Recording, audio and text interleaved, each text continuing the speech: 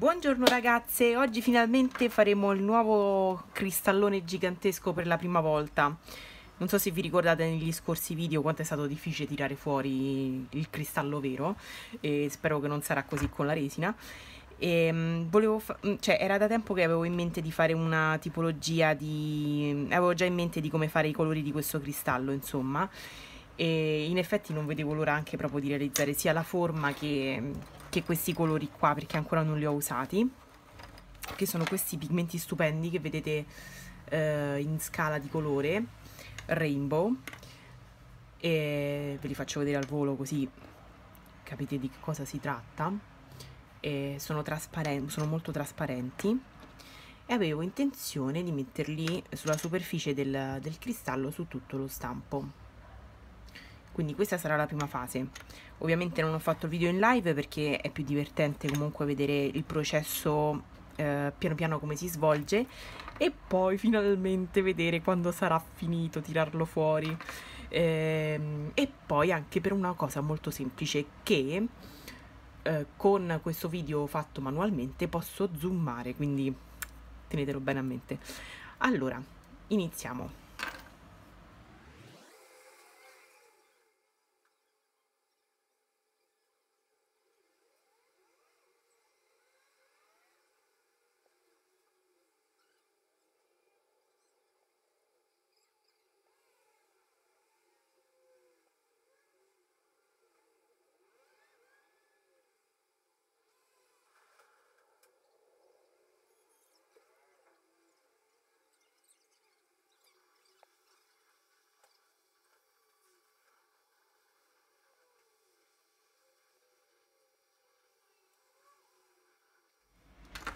mi sono fatta un po' di resina che non so se, se basterà per questo stampo però nel caso non bastasse farò un bicolor. E userò un colorante per resina UV facciamo un viola poi se non basta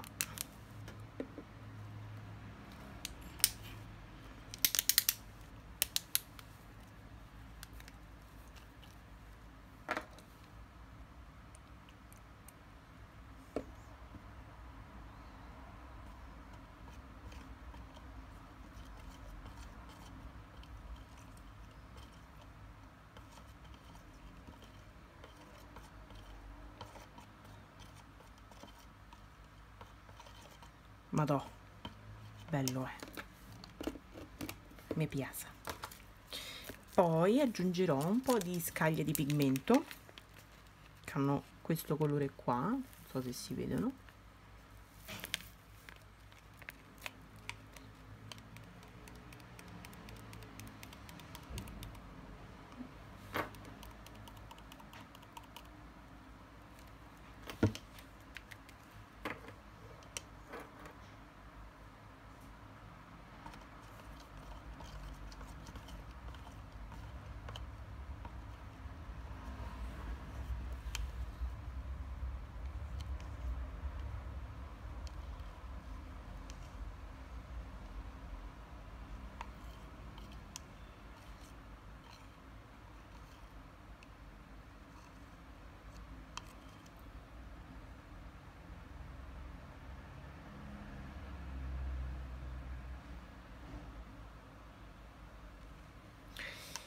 diciamo che ehm, i pigmenti tendono a rimanere in sospensione ma non è detto neanche quindi eh, queste mh, mm, scaglie sono molto leggere perché è solo pigmento e, mh, mm, però tenderanno un pochettino a scendere. E, quanto ne so io scendono ma non moltissimo e mh, mm, dipende pure dalla temperatura insomma la resina è liquidissima quindi tenderanno un pochettino a scendere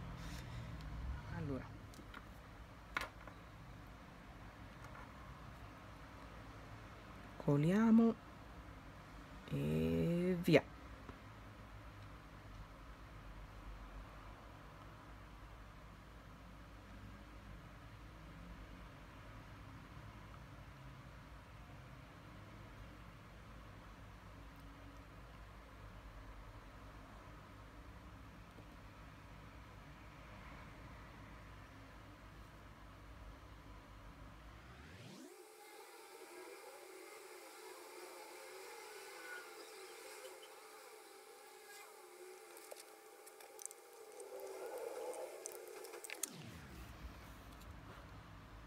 ok questa è fatta.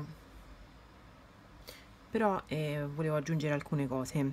Volevo aggiungere alcuni pezzi di film iridescente perciò un momento solo che lo acchiappo.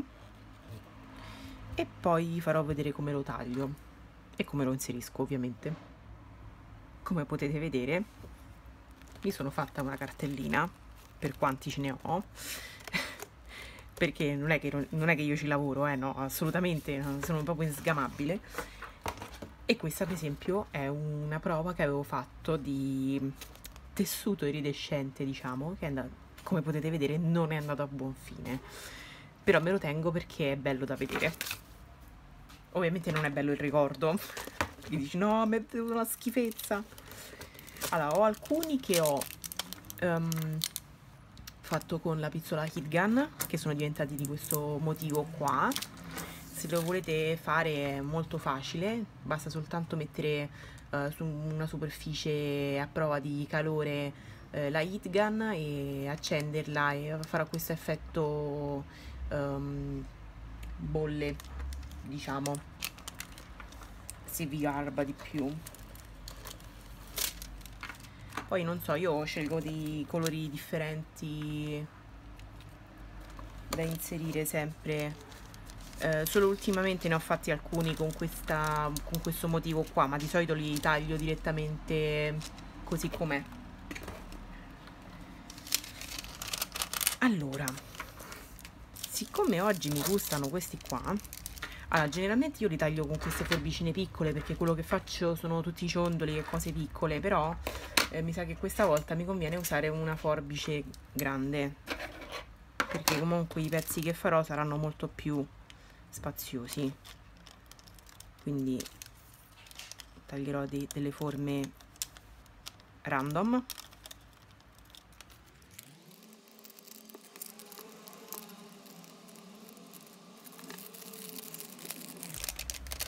Non so se vi sembra carino questo colore a me, a me sembra molto carino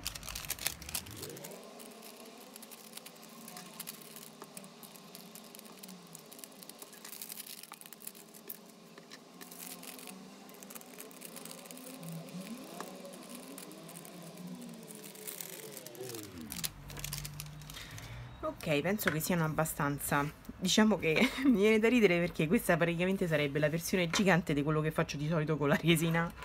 Quindi è fichissima sta cosa. E ehm, allora vi faccio vedere come vengono di solito i miei cristalli in versione piccola. Allora questo è solo un esempio gli altri purtroppo o per mia fortuna comunque non sono più disponibili e, però l'effetto che viene è questo qui. È molto carino. Beh, mi è sempre piaciuto. Quindi è facile da ottenere e di grande effetto quindi procediamo. Eh, di solito io uso la pinza tipo le pinzette.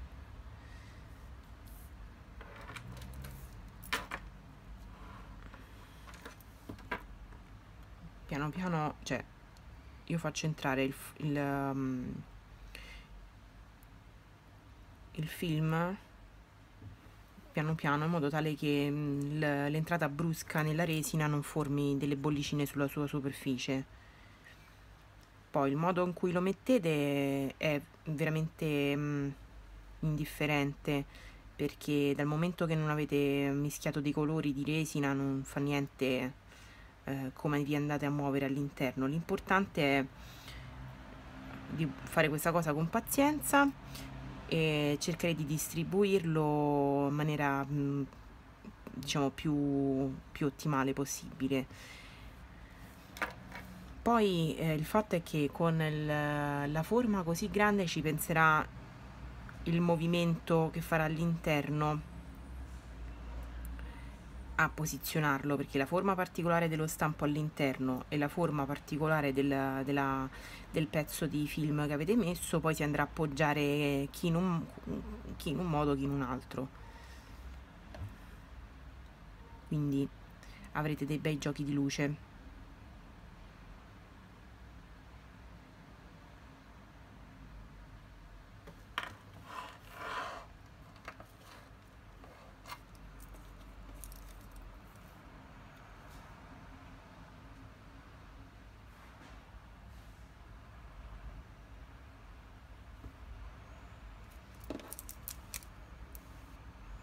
così carino mi piace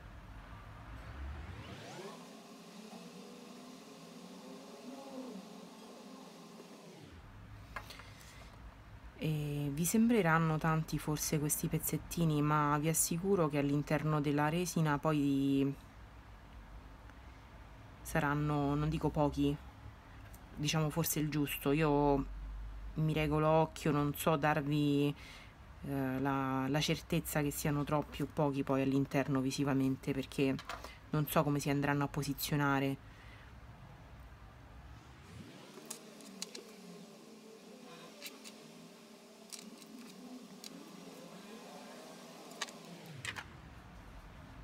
Questo è bellissimo.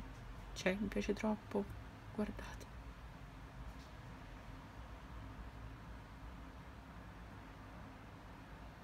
è stupendo.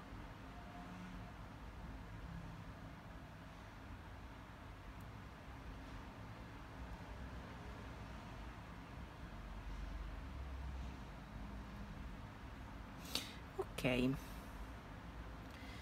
Per adesso abbiamo finito. Ovviamente eh, per voi il video continuerà tra 3 2 1 ragazze posso già togliere questo cristallo? Oddio non ne sono molto contenta vi spiego perché. Allora non ho molta esperienza con uh, queste resine nuove. Io, ripeto, ho sempre usato la resina E30 um, di Prochima. E um, sapevo come funzionava perché fra l'altro, vabbè, ripeto, con l'esperienza uno si, cioè, insomma, si regola con l'uso di questa um, resina. E scusate se ci metto tanto, però mi vengono in mente le cose da dire poi, cioè, tipo divago, eccetera, eccetera ma sapevo che eh, la Prochima aveva due tipi di resine trasparenti, Mo adesso ce, ne, adesso ce n'ha tantissime, ma prima ne aveva poche. E una di queste due era la E30, come dicevamo, che serviva al modellismo ed era in odore e aveva 24 ore di catalizzazione. Ehm, e poi che altro? e, ah, e che poteva essere usata soltanto per cose che avevano uno strato inferiore, uno spessore inferiore a 5 cm, cioè da 5 cm in su devi usare un'altra resina, che al momento non ricordo come si chiama, però c'era quest'altra resina della Prochima che aveva un odore forte, infatti quello lì servivano degli spazi più grandi per le salazioni, eccetera, eccetera, in più il catalizzatore che era minuscolo, se non ricordo male, e, e, quella lì serviva per esempio a um, che ne so, fare delle cornici grandi per, per, specchi, cose meravigliose che però diciamo se uno non ha l'esperienza o la possibilità di farlo ovviamente desisti e, e fai le cosette tue piccole da, da hobbistica, bigiotteria eccetera eccetera e modellismo che succede? Che la E30 eh, ha una si, si restringe moltissimo. Ora, questa qui non ha ristretto moltissimo veramente, che questa è la ehm, trasparente, la oddio, liquidissima Resin Pro. E però mi ha creato dei problemi. Si vede che forse questo oggetto era troppo grande per essere fatto con quella resina là, anche se in realtà non mi sembra, forse è grande per quella resina. E però già vedo che i pigmenti mi sono caduti tutti sul fondo di solito non mi succede. E, e ha fatto un boato di bolle che io non ho visto nonostante che lo stampo è trasparente. Non so se vedete tutti questi puntini bianchi sono tutte bolle. Porche quando l'ho viste no. E, ma cosa ancora più strana è stato che dopo un'ora che l'avevo colata era già dura. Allora, era già dura perché più grande è l'oggetto e più la reazione a catena della, della catalizzazione è veloce, sembra, sembra strano, ma è così. E in più scottava proprio a morte, infatti l'ho toccata e scottava tantissimo. E intorno era ancora un po' morbida, quindi ho aspettato un altro paio di ore praticamente, adesso sono qui che sto eh, tipo che sto morendo, che voglio vedere com'è andata. Secondo me è andata male questa, questo cristallo come tanti altri apparterà a me. E vediamo un po' come va a finire. Sono molto curiosa. Mi sono preparata il mio solito piattino di, di acqua stavolta con classe perché ovviamente me lo sono fatto da sola. E ehm, vediamo se avrò bisogno anche del sapone penso di sì non lo so non l'ho preparato perché ho fatto la gnorri questa volta perché sono curiosa che voglio aprirlo. Secondo me sono venute un sacco di bollicione. Non lo so vediamo. Vediamo se diventa se, diventa, se è vendibile o meno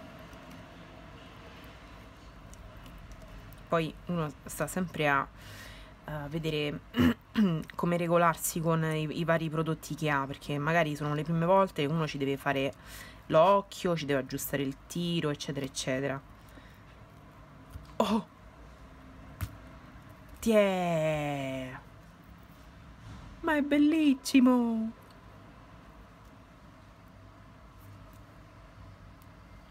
Allora vediamo un pochino Sì, mi piaci, mister Cristallone.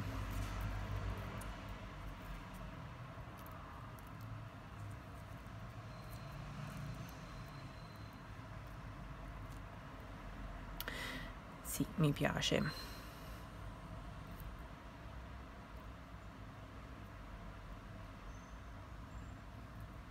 Ecco tipo io incantata che lo guardo 5 anni prima dal vivo poi dopo mi tipo alzo la testa per vedere sullo schermo del telefono no vediamo è bello di qua è bello di là è bello di così è bello di colà. Ok sapete come al solito il mio cervello è abbastanza arrivato però vedete c'è qualche bollicina qui. Vabbè in, in questo caso qua ve lo dico si può anche riempire con dell'altra resina, anche resina UV, non c'è problema quando si tratta di queste bollicine piccole qua. Uh, comunque non mi sembra che il risultato sia proprio malaccissimo, a parte vedi questi qui che sono i pigmenti che sono caduti direttamente proprio come se nulla fosse sul fondo. Mi piace moltissimo questo lato qua come è venuto. Vabbè dai, missione compiuta, però penso che ne farò un altro. Ok? Comunque sto preparando altre cosine per il prossimo video. Siccome mi ha divertito fare degli esperimenti con voi e um, di confrontarci insieme, vedere le cose, cosa ho imparato io, se voi avete qualcosa da, da dire a me, e allora ho detto senti, mo faccio uno di quei video esperimento e ho messo a fare delle cose oggi, quindi probabilmente, forse penso domani e ci rivedremo. Ok? Grazie di avermi seguito. E um, ci vediamo presto. Un bacione a tutte. Ciao